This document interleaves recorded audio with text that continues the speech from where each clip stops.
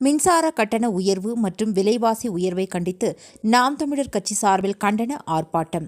மின்சார கட்டண உயர்வு எரிபொருள் விலைவாசி உயர்வுகளை கட்டுப்படுத்த தவறிய திமுக அரசை கண்டித்தும் ஒன்றிய அரசை கண்டித்தும் நாம் தமிழர் கட்சி சார்பில் மாபெரும் கண்டன ஆர்ப்பாட்டம் காந்திபுரத்தில் உள்ள பவர் ஹவுஸ் பகுதியில் நடைபெற்றது.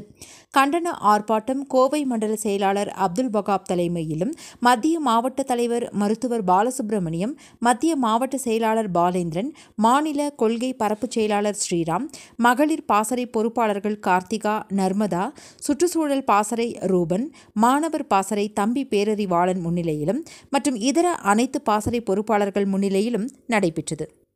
என்ன அப்படின்னா தொடர்ச்சியாக விலை உயர்வு தான்.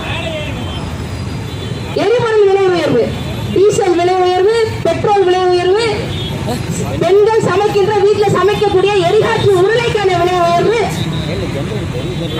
ஜிஎஸ்டி வரி உயர்வு. இது எல்லாமே உயர்ந்துகிட்டே இருக்கு. இதெல்லாம் உயர்ந்த எட்டு ஆண்டுகளுக்கு முன்பு லிட்டர் அறுபது ரூபாய்க்கு வித்த பெட்ரோல் இன்னைக்கு நூத்தி பத்து ரூபாயில வந்து நிக்குது. டீசல் விலை உயர்ந்து நிக்கிறது இன்னைக்கு